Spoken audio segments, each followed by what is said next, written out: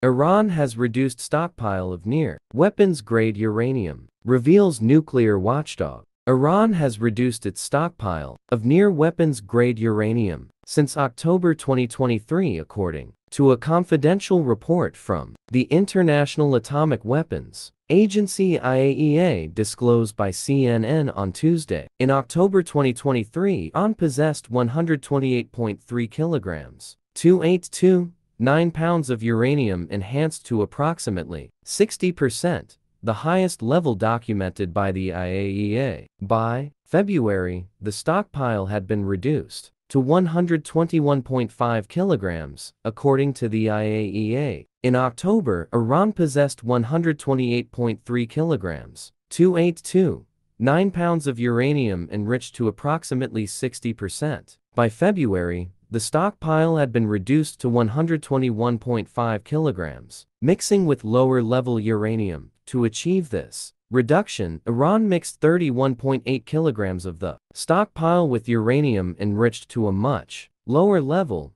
around 2%. Stockpile reduction, according to a confidential report from the International Atomic Energy Agency, IAEA, Iran has reduced its stockpile of near weapons-grade uranium since October 2023. Increase in 20% enriched uranium, Despite the reduction in near weapons-grade uranium, there has been a steady increase in stocks of uranium, enriched to 20%. These stocks grew from 567.1 kilograms in October to 712.2 kilograms in February. It's important to note that weapons-grade uranium is typically enriched above 90%, while anything above 20% is considered highly enriched. GPOA commitments the report, prepared by IAEA. Director General Rafael Grossi covers Iran's implementation of its commitments under the Joint Comprehensive Plan of Action GPOA.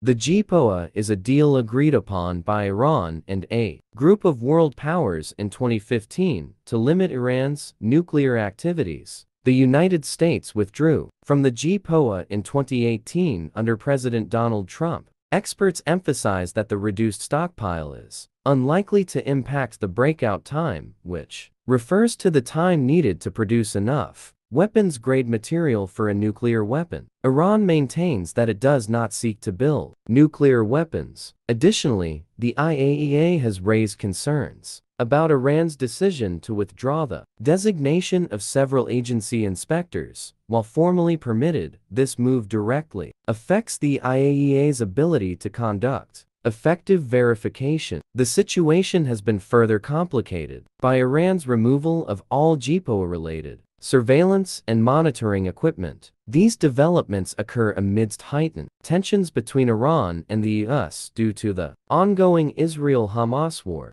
Iran-backed proxies in the region have targeted American military facilities, and international shipping lanes in the Red Sea have witnessed attacks by Yemen's Houthi rebels, prompting US-led coalition response against the Iran-backed Houthis.